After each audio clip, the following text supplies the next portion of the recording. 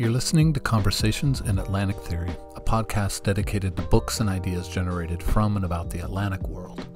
In collaboration with the Journal of French and Francophone Philosophy, these conversations explore the cultural, political, and philosophical traditions of the Atlantic world, ranging from European critical theory to the Black Atlantic to sites of indigenous resistance and self articulation, as well as the complex geography of thinking between traditions, inside traditions, and from positions of insurgency, critique, and counter narrative. Today's conversation is with Alvin Henry, who teaches in the Department of English at St. Lawrence University in Canton, New York, where he writes on African American literature and literary theory. He is the author of the 2020 book Black Queer Flesh Rejecting Subjectivity in the African American Novel, published by University of Minnesota Press, in which we are discussing today. Alvin, hello. How are you?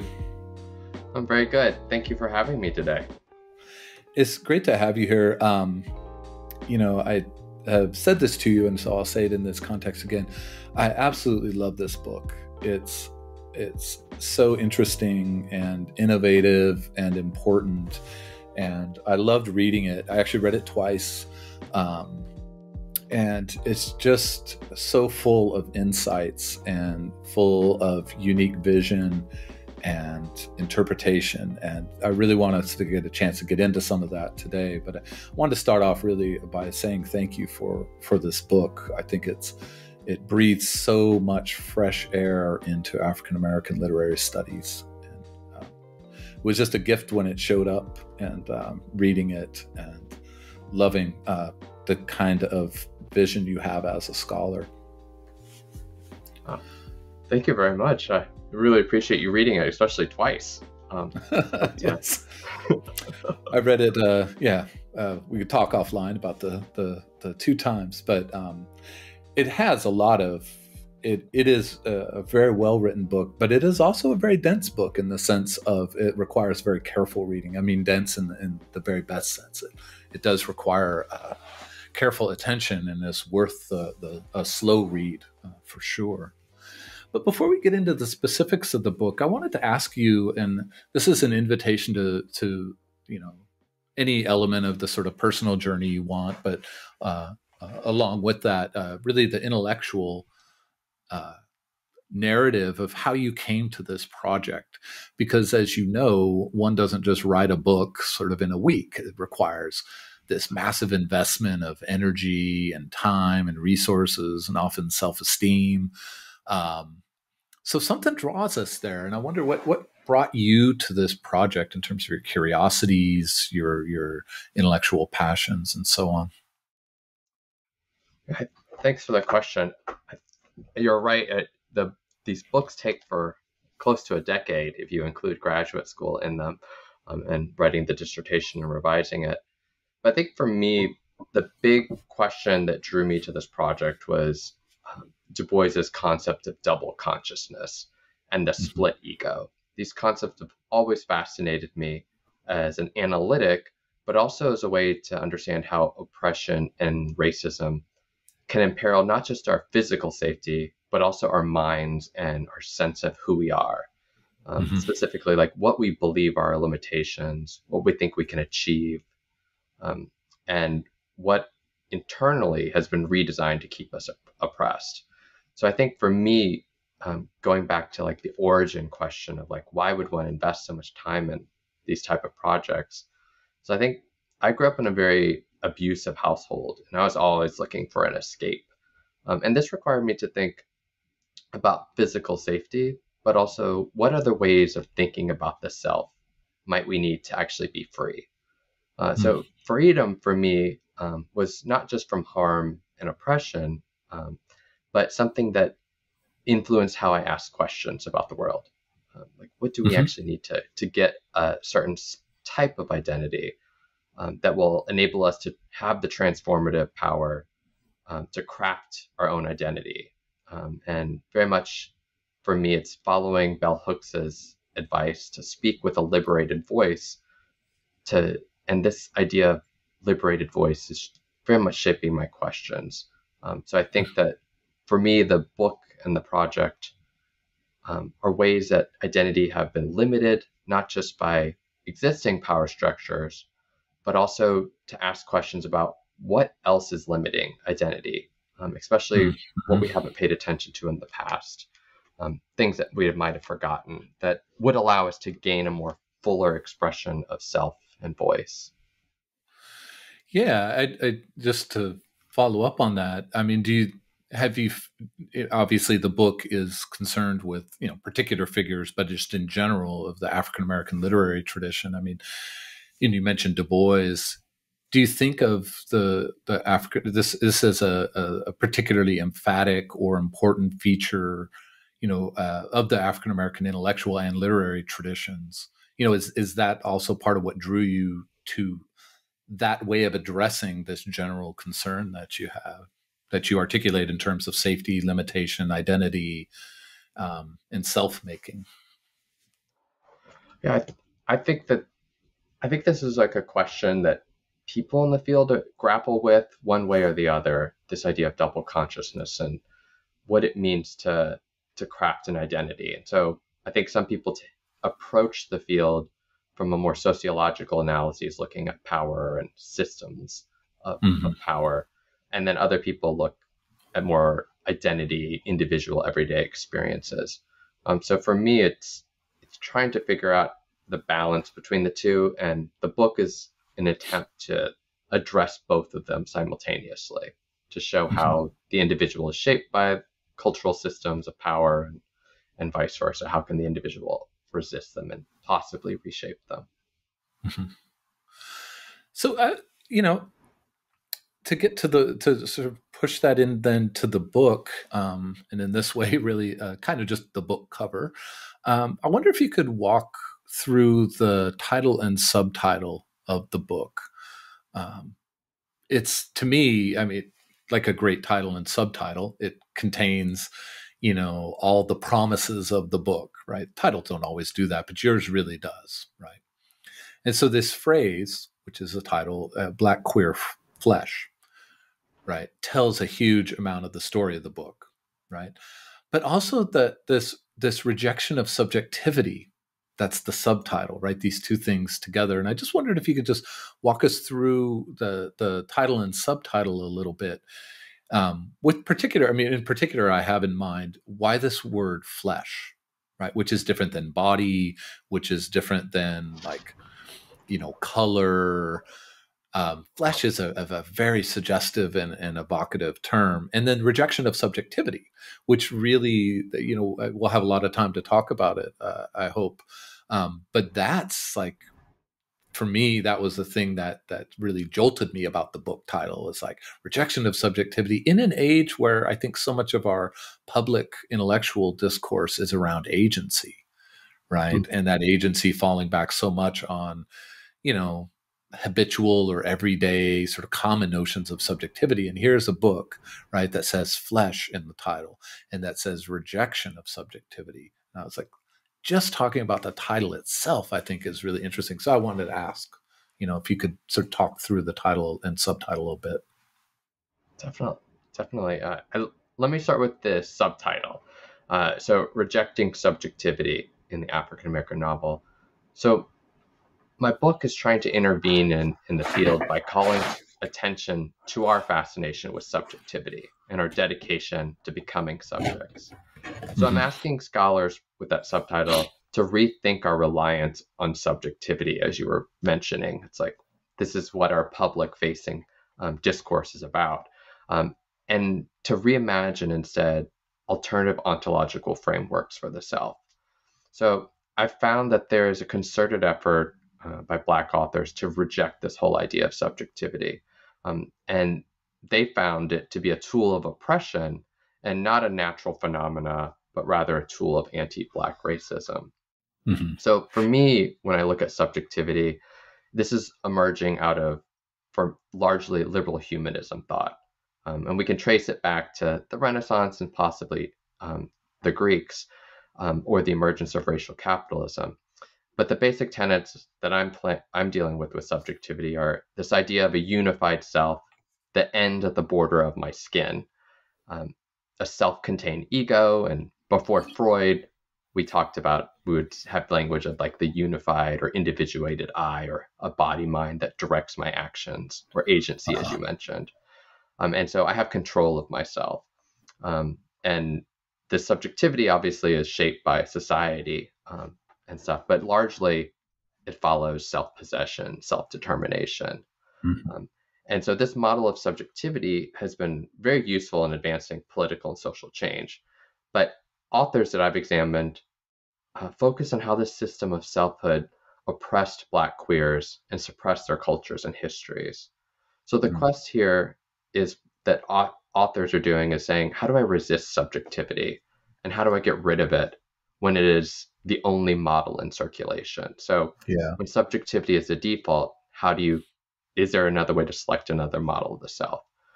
Um, and so this leads to the, the second part, or the first part actually of the title, um, Black Queer Flesh. And so for this part, um, it's defined, I define it as um, rather than looking at a unified self, the self becomes unbounded and enters a sense of plurality and collectivity, more mm. a we rather than an I. And so this diminished sense of self has less self control. There's no more of a sense that I end at my skin. And the self is now continuous with Black queer life, um, tapping into the souls of Black queer folk. Mm-hmm. Um, and one way to imagine this is like kind of like a rhizomatic network of of histories and um, of people over time. Um, but flesh, particularly, I draw upon Hortense Spillers' work um, and her theorizations of flesh. Um, and I can go into the mechanics of it, but at a very high level, I'm not trying to just queer Spillers' work um, at all, but mm-hmm. maybe, um, but try to figure out how authors have used this idea of flesh making, um, but applied that to the idea of subjectivity. So rather mm-hmm. than flesh for spillers is a way of stripping away identities um, and turns into a place of rupture and pain and lack of signification, um, then identities are then forced upon uh, black flesh. But my my work looks at what happens if you do that work to subjectivity itself. How do you uh-huh. strip it away? Um, and so looking at black authors who have are concerned with creating characters in a very realistic tradition so they're thinking about both the everyday life of how might this actually play out but also imaginatively to think about how the self could be stripped of subjectivity and mm-hmm. to join in this queer black flesh so i think it's a potential to imagine the self very much beyond the individuated ego and this cohesive self. That's great. I, am glad I asked because that's such a, um, you know, I, I, mean, what I said about the title and subtitle is it contains so much of the trajectory of the book, right? And so much of the real substance of your thinking in the book. And so hearing you talk about it, it, it really, you know, it, uh, gives a lot of you know just to use the, the term it really gives a lot of flesh to a lot of a lot of embodiment to to this to this methodology or interpretive frame um, however you wanted to characterize it. And i think that that's it's really important uh, it's such an important part of the book not only because you know i mean it's the thing that you and i share as intellectuals of you know a concern with you know theorizing ways of interpreting um, you know life interpreting texts and so forth and so that theoretical uh, you know preoccupation. It's not just that it's that in the case of your book right where your focus i mean you cover a lot of different you know writers and theorists but the focus is really on nella larsen ralph ellison and richard wright. And in doing that i mean i remember opening up the book and you know i, I always start with the the um, bibliography and then i look at the uh, everybody looks at the acknowledgments. And um, i think we're supposed to be embarrassed about that? I'm not. Um, but then the table of contents and i looked at the table of contents and i was like okay so alvin decided i'm going to talk about three of the most talked about figures in african american literature. And that's a real task to set yourself like how can you say something new about these figures right and part of what I find so impressive about the book is that it felt to me like reading Larsen and Ellison and Wright for the first time, or in a completely new way. They were almost like new figures. That's a uh, not an easy thing to do, and so I'm curious how, you know, you think that this frame of of of black queer flesh and also the rejection of subjectivity, but especially this the the title and the motif of black queer flesh opens up a new horizons for how we understand their work. Because of course theory is not just a, a, thing that floats as a sort of conceptual problem. It is also something that when we deploy it as readers we see something in the work that you wouldn't see otherwise right that, that without theory in place we don't see something and then with that theory in place that thing sort of leaps out at us in the case, and you don't have to go one by one, you know, you may think of a sort of general take on this, but I'm curious what you think this frame of Black Queer Flesh does to draw out something new. Like, what does it draw out new about Larsen, Ellison, Wright, and African American uh, literature, maybe more broadly? Yeah, I think I'm glad it the book is helping give a fresh read on these like classics uh, because it's you know everyone wants to reread them, but we often when I reread stuff, it's usually after I read a journal article, and it's like, ooh, I have a new new perspective. Um, yeah. Um, and I've already had I've had an email from a couple of people specifically around Ellison, who they're like, I've never I never wanted to teach Ellison again because I thought he was too masculinist or something like that along those hmm. lines. And they're like, I read your book, and I was like, I can now teach Ellison again. And I was like, okay. I was like, that's great. Um, because I really like the idea of opening Ellison up to a new generation of people who might just think like it's a tried and true story that I can just go on, you know, Shmoop or something and find the plot summary.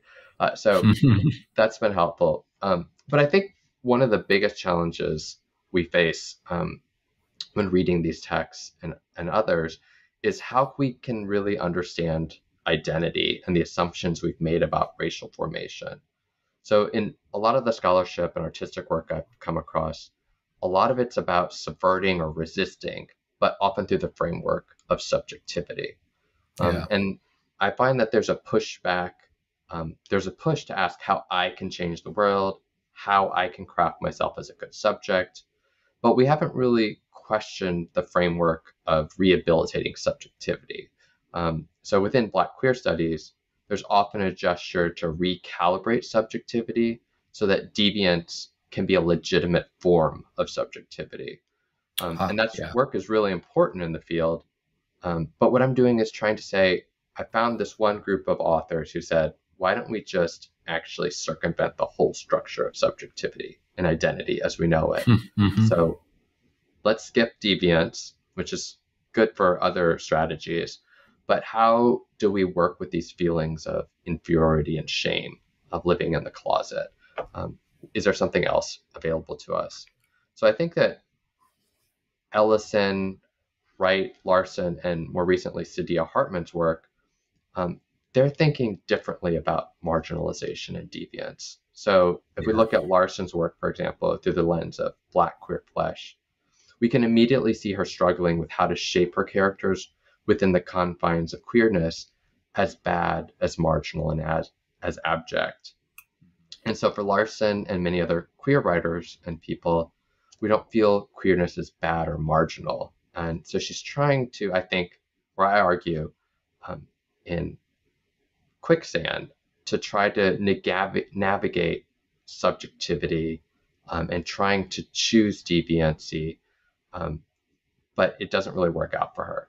So for her, I mm-hmm. think that she's showing us that built into subjectivity itself are the tools to oppress queer people and black people from the start. So you're adopting this model that's already going to put you at a disadvantage. And mm-hmm. Larsen is saying, like, well, why do I need to try to rehabilitate this model if it's already designed to oppress me? Um, so yeah, that's, I think that's really brilliant. I, I, I love that. And just to pick up what you had said about about Ellison and and you know getting emails saying you know he just seemed too sort of conventionally masculine, but this has changed the sort of teachability of of Ellison.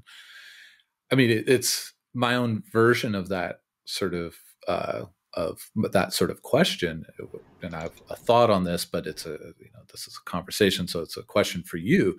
Is you know one of the interesting things for me, just as a, an event of picking up the book, right, is looking at the title, and then when I get to the table of contents, when I read Black Queer Flesh and Rejection of Subjectivity, right, I did not expect, you know, Wright and Ellison, right, who for who, with whom you know no one uh, has associated as, as, you know any sense of in terms of identity a sense of queerness and that you don't take up say baldwin and hansberry who you know just by uh, in terms of biography would have maybe lent themselves to you know that association that's what I, I love about the book, and, and, it's it's one of the many things that's so unexpected about it. And it's just this occasion for me then to ask, especially in the case of and Ellison, you've you've already spoken uh, about Larsen, like what is, you know, there's what is what is this this treatment of of queerness as a methodology and strategy against subjectivity.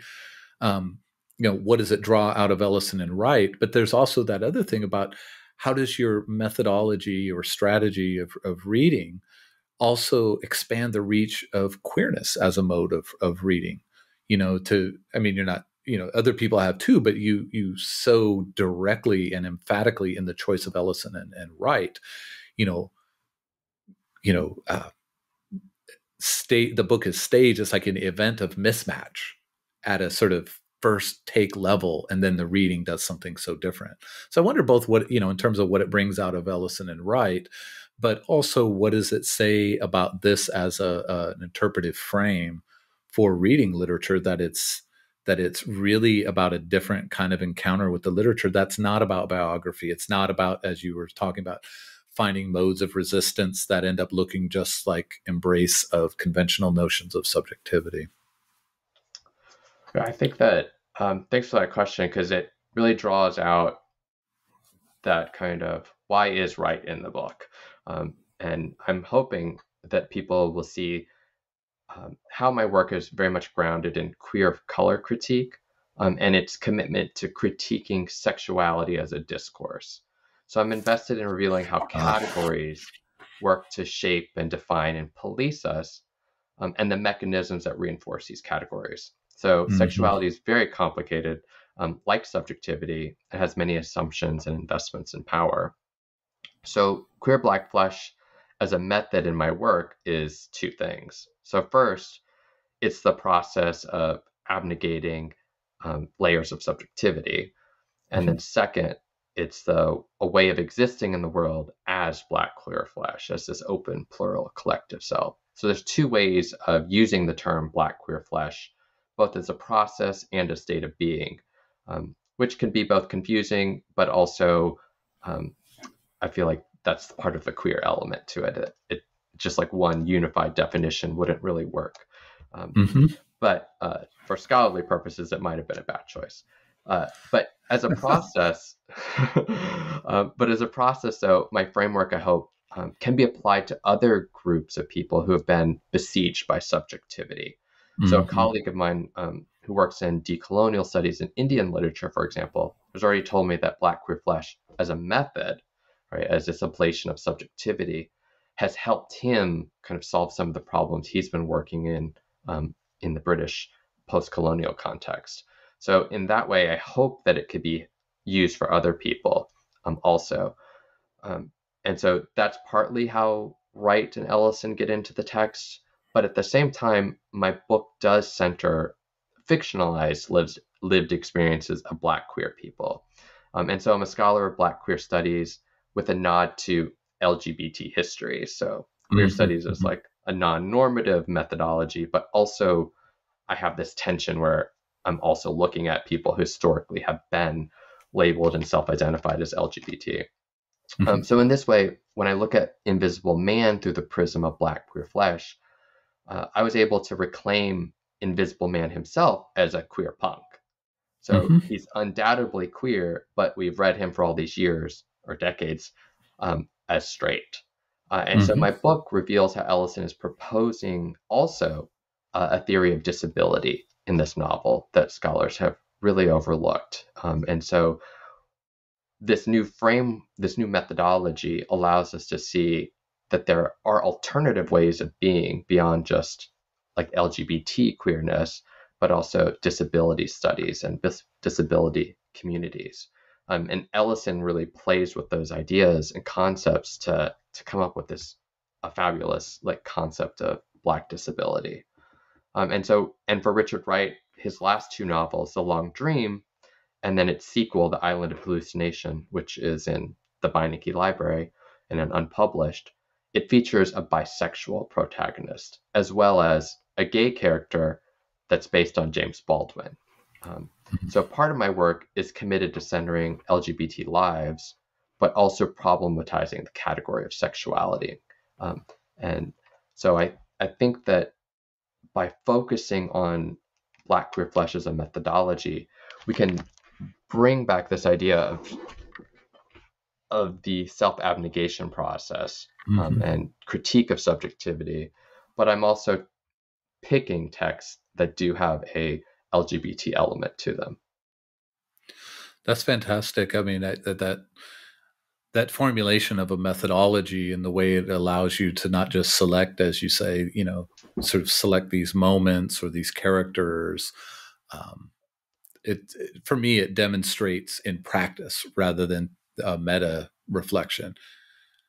It, it, it shows us in practice, you know, the power of of theoretical approaches, right? To to to not only like draw out something in the familiar, right? In the cases of these figures you're talking about, but also these texts. It's like you know your your your re um, your re-theorization or your reframing of of Invisible Man is is yeah, it's you know I've teaching Invisible Man next academic year, and I was like that just got a lot more complicated for me in a really great. I mean, and I mean that like I like complicated, right?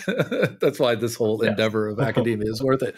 It got so much more complicated because of your book, because it, it, you know it, it, was able to draw a thing out uh, that that I don't think people were seeing, but also you know the Richard Wright stuff. Uh, I, you know, seeing Richard Wright as something more than just you know James Baldwin's antagonist or you know uh, somebody uh, somebody who writes novels about men who kill women you know this is this exactly it unlocks his his deeper endeavor you know and you mentioned sort of sociological approaches to literature actually i have to say i, I really appreciate that that you know I, I think you do a lot to remind us that that wright was an artist and not a sociologist just to be kind of boring terminologically about yeah. it um, and that i think is very needed as well you know and, and you said somebody had written you about about you know coming back to Ralph Ellison around you know sort of changing a perspective on his his masculinity. The idea of returning to Richard Wright is is that's an even taller task, and I think you really accomplish it with that with the methodology, but also the selection, as you said, of different texts. Yeah. Oh, thank you. So in the opening book, uh, opening of the book, and this was another thing that that caught me by surprise, and, and it may be something that you say it's actually not that big a deal. Why are you asking? Which is fine. Um, but you you do use this term, repeat this term a number of times of a Bildungsroman, right? And that for me was so interesting and intriguing that that would be an element of your framing of the project. So I just wanted to ask, you know, what what does this term do? You know what work does it do in the text? What do you why why is it important to be a part of the way you get the project started? So this is a, a fun term for for listeners not inside of literature. Um, let me just explain what it is. Uh, the bildungsroman is what we call in our field this novel of self-formation or often it's called or mistranslated as a novel of education. But here this is when a character matures slowly over time. They have obstacles, they screw up, they learn from them. And then the novel usually concludes with them integrating into society via marriage, inheritance, and profession. But the ultimate goal is they become this great subject or a, you know, not great, but a subject of some mm-hmm. sort. Um, and so most canonical texts in African American literature are some version of the Bildungsroman. It's one of the most popular forms, the dominant form. And if we extend it to the slave narratives, which are, are nonfiction, they also follow almost this, the Bildungsroman trajectory to a T, right? Um, mm-hmm. Um, and so it's this idea that we need to craft ourselves into a subject um, that is so fascinating and preoccupies African American authors. Um, so the idea of becoming a good subject or even a deviant subject in, in lots of queer writing, but we're celebrating the process of becoming a subject. It's just everywhere. You can look at most TV shows and movies to also mm-hmm. do this. But what my project shows us is that Black authors haven't just been writing the Bildungsroman tradition. Everyone just think Larsen, Richard Wright, um, Invisible Man. These are all just Bildungsromans, and you're just like, you know, you could go to Wikipedia, and I think they're listed mm-hmm. as examples of it. Um, but instead, what I'm showing is that they've created a unique literary genre, one that we have ignored, one that's about self abnegation, subjectivity, and this embrace of Black queer flesh. So this is an aesthetic practice that, that scholars have completely like not paid attention to, and we should be celebrating these authors not for whatever whatever they've been celebrated in the past for, but they've actually created a new literary genre that's just completely gone overlooked. Um, mm-hmm. And so it's a way of showing another form of aesthetics that to be able to resist anti-black racism um, and to fight against normative aesthetics. So Black authors weren't just tinkering with the Bildungsroman and fitting in the Black experience, but they created a new genre. And I think that, as you were saying um, in the question, that Wright himself, we need to think of him as an aesthetic innovator. You know, he might have been, it might have taken him until his last novel to jump on the bandwagon, but he was reading deeply Larsen and um, and Ellison to figure out what is this new genre that they're participating in, they're hmm. creating, and how can I like pivot my work right after his existential phase? He like goes back to this protest fiction in the Long Dream, but it's not just protest fiction; it's like the Black queer flesh genre, and so I think that we need to really celebrate this new literary genre that they've created. Yeah, I really like that. I mean, it's um, I like I really like that answer, and I like the way that that you raise the stakes of of your book. Right? It's about it's not only about articulating and naming and and and drawing out this uh, this emerging genre, um, but also understanding Richard Wright, as you said, Richard Wright as an innovator, and and there's so much. I, I you know I do think a lot about how our reading of, of Richard Wright, and just to focus on him for a minute, um, how much our reading of Richard Wright is framed by, you know, Baldwin's sort of nonstop, even after his death, um, you know, just broadsides about it's, you know, it's all, you know, captivation by the white gaze. It's all protest novels, right? Um, I never quite think protest novels are as bad as as Baldwin seems to think they are, um, but also Ellison's. Uh, you know, uh, I mean, he adopts it from Irving Howe, but this characterization of Wright as a sociologist rather than a than a, a writer, um, and I think part of the resistance to that in Wright's work is his nonfiction and his sort of engagement with Bandung and and you know color the color curtain and all of that. But what you do is pick up you know pick up what for me is the most important thing to to retrieve i don't want to say say but to retrieve about richard wright which is not to say he gave up fiction. I feel like sometimes my own take on richard wright is like it sounds like he gave up fiction to become like an observant nonfiction writer. But you're pointing out he's developing as a creative he's developing as a writer he's actually reading and thinking about people contrary to you know baldwin's own sort of accounts of of richard wright's late life where he's like richard just sat in apartments drinking wine and having parties he sort of demeans him in that way rather than seeing him as an evolving artist yeah i think one thing i wasn't able to include in the book was um, the the island of hallucination analysis. I was not granted permission to publish from the Wright estate. Oh, um, really? So, That's too bad. Yeah. But he, one thing, just to to continue your idea of like Wright as an aesthetician is like he actually in his protest fiction he just makes surface the idea of self abnegation. So Larsen and Wright, they're more subtle. You have to read for it. But Wright's just like right on the surface. He was like, okay, they've invented this stuff. Let me just make this popular and like tell you all how to do it. And so in his text, he's like very upfront about we all need to get rid of subjectivity. This is a thing controlling us. Um, and in his novel Island of Hallucination, he then goes on and says, okay, I've gotten rid of subjectivity. Let me show you what life is like as black queer flesh. How do I live it every day in the everyday world? Mm-hmm. Um, hmm. and so in that text, um, or at least my analysis that's just sitting in a file on my computer now, I walk you through how Wright actually does that. So I could only find um, one of my the prime examples today was from Saidiya Hartman's work from just a few years ago.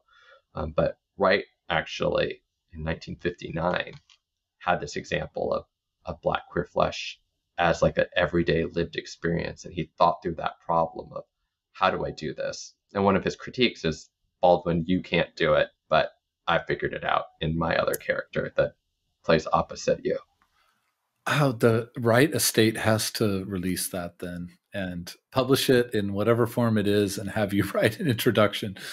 Because i think you know it's you know, not to to go off on too much of a tangent, but I think this is central both to like the significance of your book and also to that period of African American literature and how we think about it is not only is it dominated by Baldwin's critique of Wright and Ellison's as well, but also this sense that Wright doesn't speak back to it in any really significant way.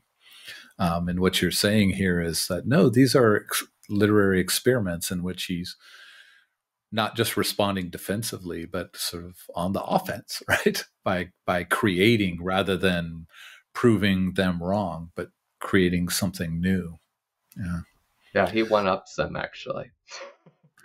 It's uh, literary estates are just they really are their own phenomenon.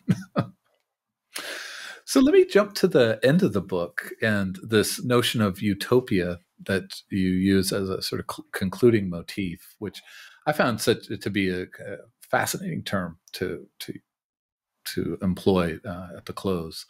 Um, just it's a very open question. You know, what what is your sense of utopia in this concluding part, and what what drew you to making this the center of how you wrapped up really detailed, complicated reflections in the body of the text?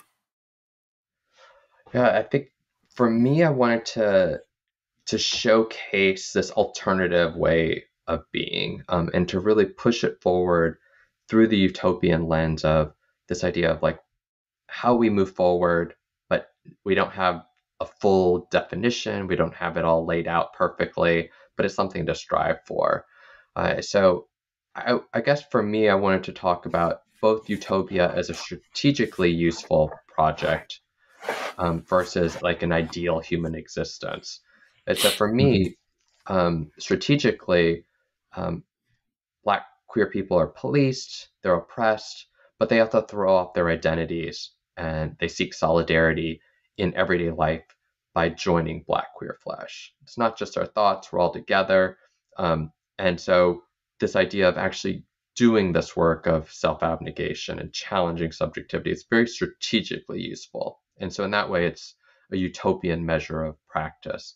And I, I think that Wright's um, The Long Dream, at least, is a version of this. And then Ellison in Invisible Man is more along the strategic lines. But if we think about utopia as an ideal human existence, um, to think about a society devoid of anti Blackness, um, where there's genuine human flourishing that involves this plural collective mode of being, we can look more towards Nell Larsen's model and Saidiya Hartman's model. Mm-hmm. Um, that this is the ideal, not having domination in our lives. Um, so I think that the book kind of I liked I like the closing of the book because it both offers you Jim Trueblood example um, in Ellison, mm-hmm. but also mm-hmm. as a strategic version, but also the ideal version in Hartman. Um, and so I think that that idea of looking forward to something is very much what like people like Nadia Ellis and Jose Munoz are, are thinking about as like this queer vision or horizon not yet becoming of queerness.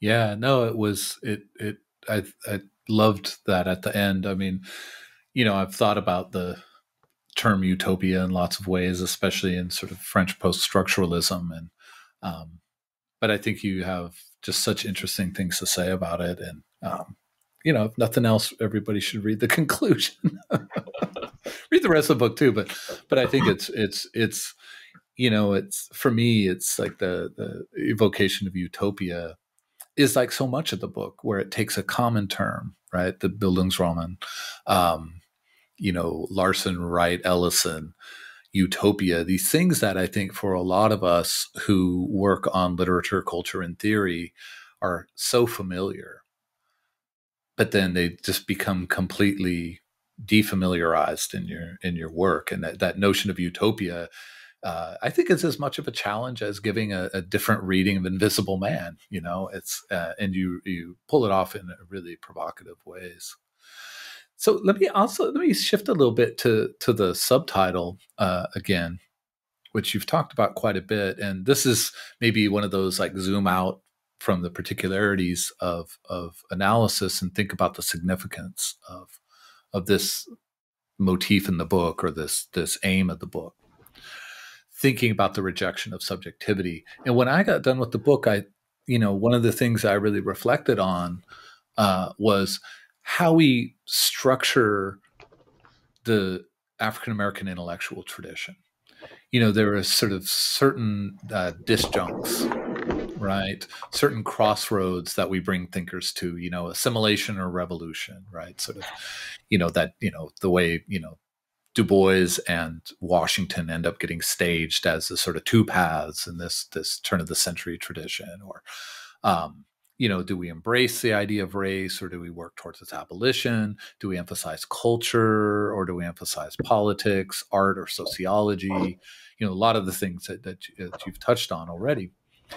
And I wonder if, you know, when you think about the the ultimate impact of the book, if you think this question of reject subjectivity as its as a as a as an extant or or you know everyday description and, and concept, uh, either rejection or aspiration. If this is one way of restructuring our interpretation of the entire African American tradition. I mean, you talk about particular figures, but it strikes me that this do we aspire to subjectivity or do we reject it is a very deep way of rethinking the entire tradition. Do you, I mean, I don't know if you have thoughts on that, or I mean, that that was one of my takeaways, which was more in the mode of perplexity, you know, in the best sense of like really just wondering, like, how, what do we do with this? Like, this seems to organize a lot of the tradition in a really complicated way. Yeah, that's uh, that's one of the questions I've been grappling with um, of what does what are the actual implications of saying subjectivity has structured black thought and the frameworks that we use. So, for example, as you're gesturing at like uplifts, respectability politics, just the normal idea of what it means to be a black subject as theorized from you know basically everyone in the first half of the 20th century has involved or citizenship citizenship, be a really difficult one yeah. Right. It it all depends on having this unified self that has agency has self-possession has self-determination um, ownership of the self. These are all key terms that are basically what define Black studies. And if you don't meet those criteria, there's you know you have to try to get there in the in the large sense. So I think for Black studies, it, it really challenges the entire field to rethink our assumptions like who did we just center and why? And what were yeah. the costs of that? Because if subjectivity emerges out of liberal humanism, which thought black sub black people as inferior, then we have we're importing this model and we've tinkered with this model that's already inherently anti-black, and we've tried to like rehabilitate it. And then mm-hmm. on top of that rehabilitation, we've built all these models of of black thought and black identity. So what is it to go back and say so with my chapter on ellison for for example i say okay uh, the black subject has to if you're not it's very ableist essentially it's like you have to work you have to be able to be participate in society somehow but if you're disabled you can't so there's something about um, the idea of what blackness is that's related to work productivity ableism.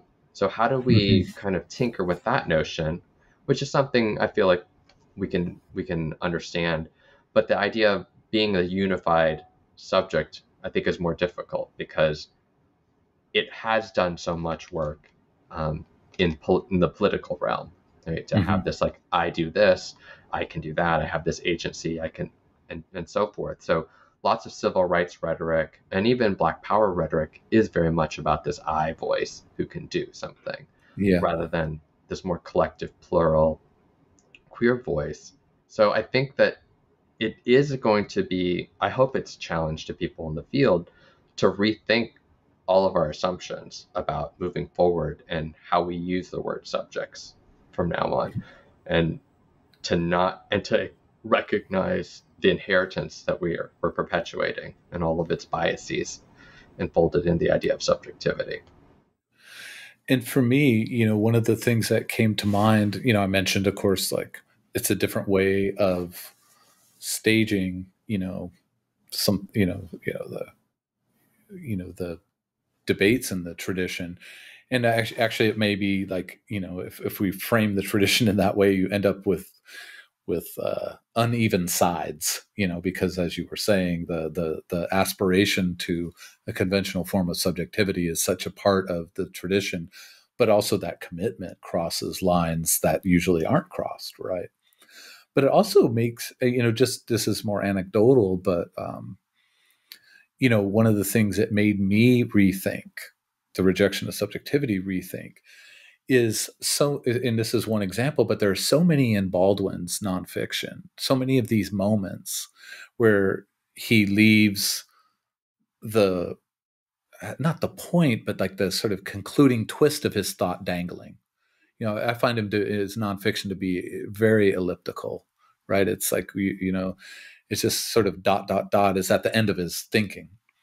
And one that sort of encapsulates this for me or captures this so so clearly is is my favorite remark in the fire next time. It's in the, the long essay of the fire next time where he says he's talking about integration and he says you know i think he's being defensive about you know that his pre- previous work had been sort of integrationist. And he says you know who would want to be or we don't want to be uh, as Af- african american we don't want to be integrated into a burning house and it's like thinking about like what houses are on fire and to be integrated into them you know you know scorch you right? Change your body from what it used to be and would therefore be a kind of death. And there are so many moments like that in somebody like baldwin yeah, other people as well but just to speak to baldwin and after your book, I did think about that. It's like, is this this moment where he's he's searching for the vocabulary of a rejection of subjectivity? You know, wow, that, would be great because I know I, I tried to look at his fiction, um, and to see if I could showcase or do a reading of one of those, but I was struck by, as you're saying, like there's a, there's usually like death or suicide um, for his queer characters, and so I'll have to go back and look at the nonfiction with the dot dot dot and you know this is that gesturing towards this towards rejecting subjectivity or a new way of thinking? Because it strikes me that this this idea of, of a rejection of subjectivity part of what it demands at least for me as someone who reads who read your book and is like rethinking or rereading like preparation for class or my own casual reading is it requires you to to be a creative interlocutor with the text because exactly this idea of a rejection of subjectivity that's not a common vocabulary for you know baldwin. But if it's working there that's that's what we do hermeneutically right? That's what we bring to the text and are able to see in the text that may not be what the text is saying out loud but instead drawn out um, and that for me i mean that's that's the part of like thank you for this book for me is the way it made me think of these tropes or not tropes but these these moments and turns of phrases in baldwin's nonfiction in particular where i was like something's going on here and i think he can't find a way to say it. What is this thing he's not able to say? I think a lot of it is this rejection of subjectivity because it's such a you know just like the disappearance of the subject in in post structuralism it's like at some point you don't have names for it right and, mm-hmm. um, but you i think your readings map for us exactly what it would be to look for those moments in texts right yeah, yeah. I, I'm I'm really excited that it could be a hermeneutic for for others to find stuff because you know I'm one person, but I really would oh, appreciate it. If, you know, it helps other people see things differently because there's just so many novels out there and authors that are reading each other that, right? If you've someone like Baldwin has read Larsen and and Ellison and Wright in depth, that it's bound to be seeping into his unconscious, even if it's not consciously theorized. Of course, and and you know those three, Ellison, Baldwin, and Wright, uh, they're reading each other, and they're also um, competing with each other. You know, and so, yeah. but part of part of that competition can be exactly that, like who can find a way to begin to articulate this inarticulate, unarticulable thing, right? A, a rejection of subjectivity. Well, let me ask I, I, don't know how you feel about people reading your book. I think we all probably have a mixture of anxiety about that. It's like somebody's going to read what I wrote, but uh, of course, we all want people to read what we wrote. Um, and readers, you know, they take what they want from from text. There's no way you, as an author, can have command over that. I don't think we should want to, but um, nevertheless, we, you know, as you were talking about the kinds of things that drew you to the project. I'm wondering then if you think back about what um, what your what you imagine readers take away from the book, and I don't mean a takeaway like a quick like trope or two or or a, a quick sort of thought, but like their sensibilities. How do you imagine your readers' sensibilities changed in the process of reading and working through the book? I think, I mean, stories like yours, like where you can, you've read the book, you have the a grasp of the concept, and then when you look at other texts that are very familiar to you, you're like, you see them in a different way. So that that idea of providing another way of looking at these texts is something that you know you can only dream that would happen. Um, so I think that's super exciting for me um, to give people another hum- hermeneutics of reading.